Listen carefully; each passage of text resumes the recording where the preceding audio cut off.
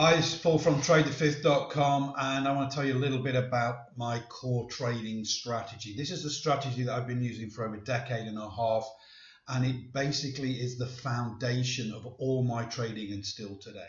So there's four main parts to it. But the first part is trend behavior. So understanding how the trends are formed and giving you a simple but repeatable method of actually labeling that trend.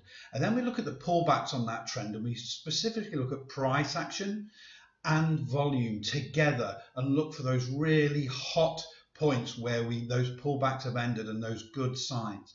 Then we look at um, ABC corrections. It's, it's important to understand about the trend, but also when a, when a stock is in a correction and how to label those corrections is very, very important to see when they're over.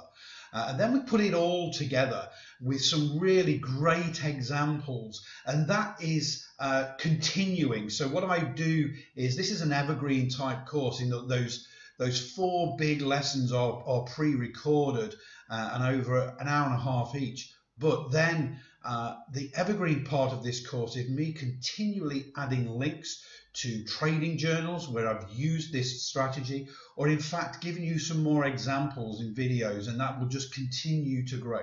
So hopefully you'll join on board uh, and take part in my core trading strategy.